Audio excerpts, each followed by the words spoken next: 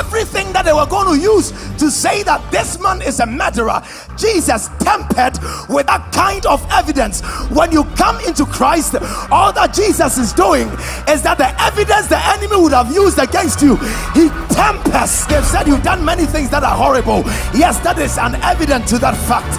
But the Bible says, He who comes to Jesus uh, is a new creature. The old things are passed away, but he's killed. He's done horrible things. Why do you still say that?